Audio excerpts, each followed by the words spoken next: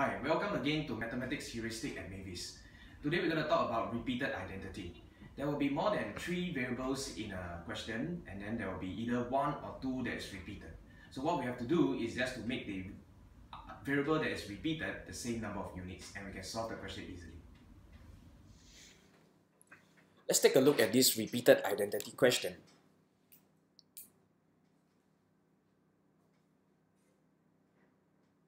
So from the question, there are three variables, Sharon, Alex, and Roy.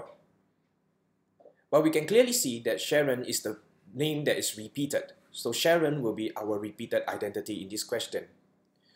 As such, we have to make Sharon the same number of units. So first we have Sharon is to Alex, 3 is to 1. Then we have Sharon to Roy, which is 4 is to 5. Since Sharon is the repeated identity, we have to make Sharon the same number of units.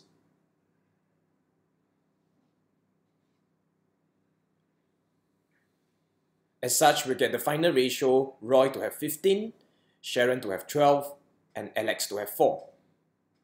Then we are told that the three of them have a total of 155 erasers altogether, which will then give us 31 units represented by 155 erasers. So each unit we will get 5 erasers.